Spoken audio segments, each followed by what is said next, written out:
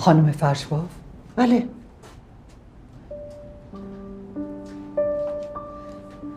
سلام. سلام. من ناهیدم. بله. ببخشید مزاحمت های ما رو. قبلا سارینا الانم که بهمن.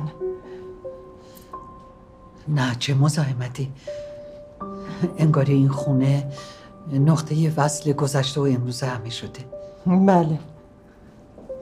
خیلی عالیه که خونه رو همینطور دست نخورده نگه داشتیم. کاش که آدمام دست نخورده مثل گذشته باقی میموندن این که امکان نداره خودتون می‌دونین. زمان همه چیز رو تغییر میده. یه خورده بیشتر میموندین. نه نه مزاحمتون نمیشم. دخترتون محتاب جون شماره تلفن منو داره. می‌خواستم خواهش کنم که از این به بعد فقط به خودم زنگ بزنیم. هر کاری که داشتیم. ببخشید چه کاری؟ هر کاری. در مورد بهمن یا هر کار دیگه ای به خودم زنگ بزنی نه به استاد. بله بله. حتما.